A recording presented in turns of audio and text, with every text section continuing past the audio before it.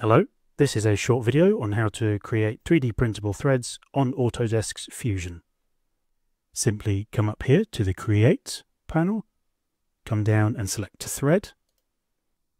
Select the surface you want the threads on, come over to the dialog box and hit Modeled, and hit OK.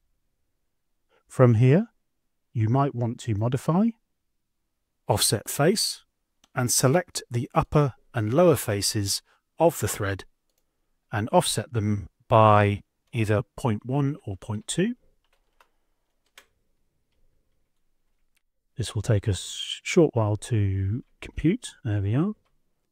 What you may also want to do is if you want a leading chamfer, simply come back, go to Modify, Chamfer, chamfer the leading edge, and then apply your thread as normal.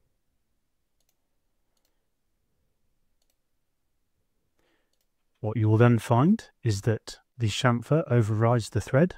So simply drag your chamfer in the timeline to in front of the thread. You'll now find that the lead-in chamfer works as intended and you can go ahead offset your faces as normal to minus 1.